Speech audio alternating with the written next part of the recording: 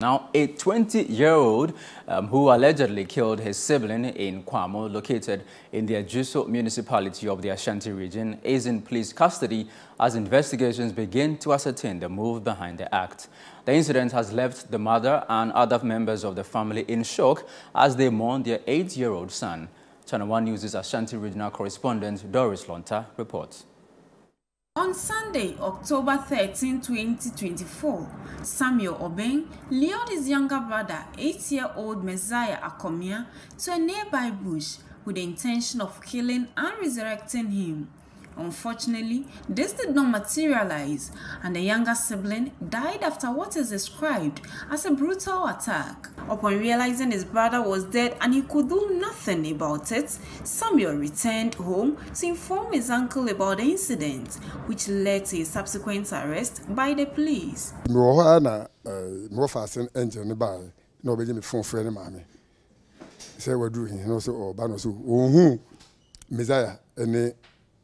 sami ɛna ɔde fone de bɛyɛ ntina mi gu so otomi nɛma na eyi so wɔ efie protest. Ti bɛyɛ ten minutes time ɛna ɛngye saa baayɛ ɛna so fa ɛɛ samuel sɛ wakum ɛɛ misaya ɛna sɛ wɔn fa ne jimmy kɔ ne bra panyin na mi fɛ na mi fɛ patrick kan ho.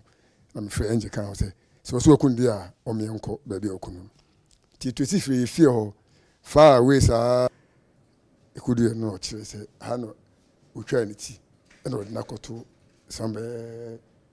I say from there to there bɛɛ 28 uh, 20 police for susu for no bɛɛ 28 feet from there to saa tadeɛ no ɛwɔ hɔ no mɛmi ne ti fie deɛ ɔn behave biara nkyerɛ me ɛna mɛ ne dan so bɔ ho bɔ ho ɔn behave biara nkyerɛ me nti wei esi yɛ no ayɛ me nneɛma bebree. The assembly member of the Kwamo electoral area has been speaking to Channel One News. Um, in fact, um, if a lot of people, a lot of people have granted interview to ask me, is everything okay with the guy? And um, I tell them, I tell them, um, in fact, there there is a history.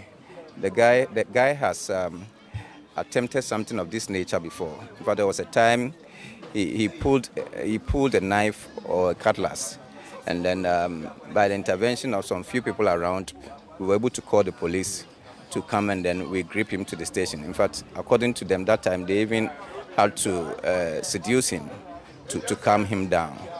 Yes, so it means that um, he had some traces of that attitude in him, just that um, you just don't know which time it will come. The body of the deceased has been deposited at the morgue and the police have commenced investigation into the incident. Reporting for Channel 1 News, I'm Doris Lonta, Ashanti region.